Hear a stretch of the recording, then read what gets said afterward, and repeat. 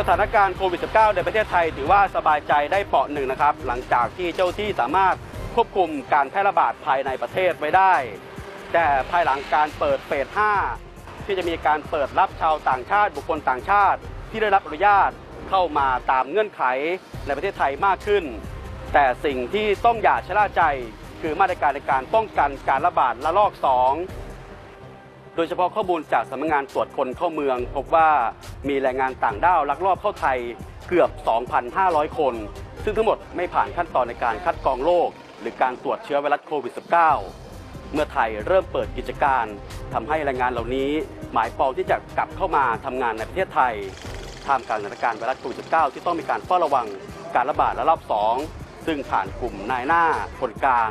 ที่จะเห็นประโยชน์ส่วนตัวมากกว่าผลประโยชน์ของชาติ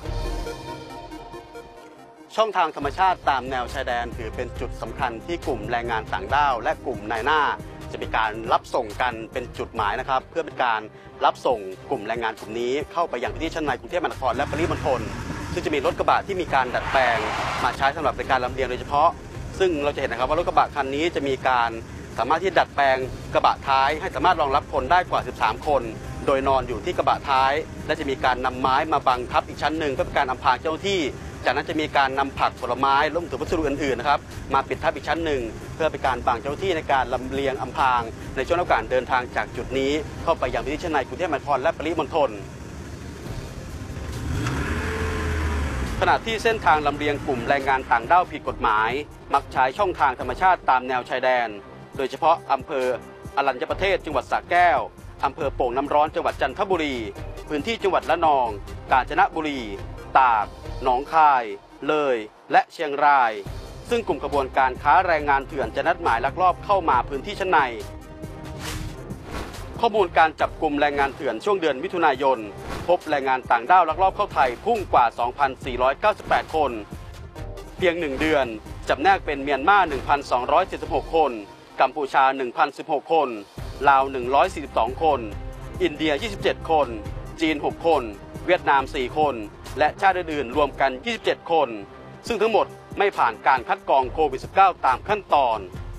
ขณะที่เครือข่ายนายหน้าขนาดใหญ่ที่ทางเจ้าที่ตำรวจกำลังมีการเร่งทลายเครือข่ายนี้อยู่นะครับ คือเครือข่ายของเจต้อยวังน้ำเย็น ซึ่งสามารถที่จะ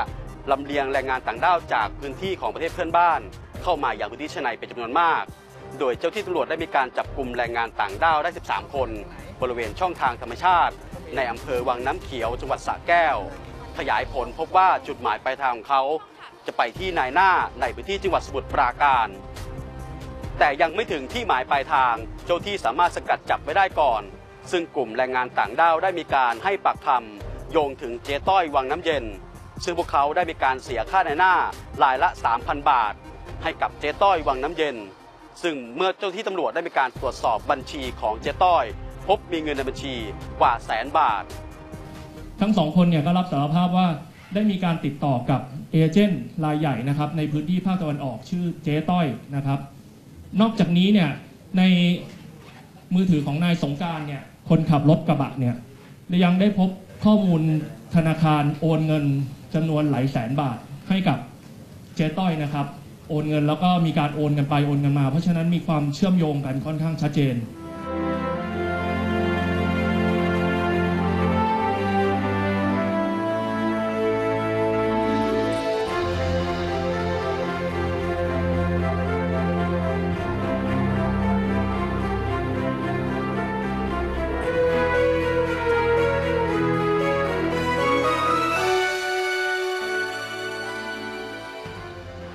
ศไทยผ่านการปลดล็อกในเฟส 5 รวมถึงการเปิดทุกกิจการกิจกรรมที่มีความเสี่ยงสูง ให้สามารถได้รับการผ่อนคลายเปิดกิจการได้แล้วนะครับ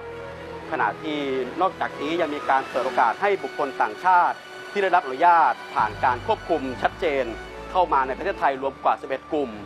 อย่างไรก็ตามกลุ่มแรงงานต่างด้าวถือว่าเป็นอีกกลุ่มที่หมายปองที่จะเข้ามาทำงานในประเทศไทย หลังจากมีการเปิดทุกกิจการกิจกรรม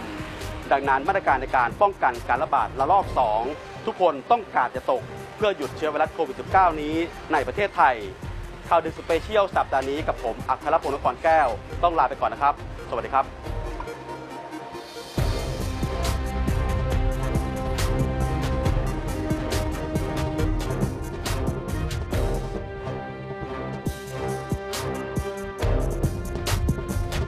อบคุณที่ติดตาม TNN ช่อง 16 นะคะ อย่าลืมกด subscribe และกดกระดิ่งด้วยนะคะ เรายังมีวิดีโออื่น ๆ ที่น่าสนใจอีกเพียบเลยละค่ะ และถ้าคุณผู้ชมไม่อยากพลาดการติดตามรายการสด อย่าลืมนะคะ เพียงแค่เข้าไป Facebook TNN Live ค่ะ และยังมีช่องทางอื่น ๆ ที่ทำให้คุณผู้ชมสามารถติดตามรับชมรายการของเราได้ เพียงแค่กดลิงก์บริเวณใต้วิดีโอนี้ได้เลยค่ะ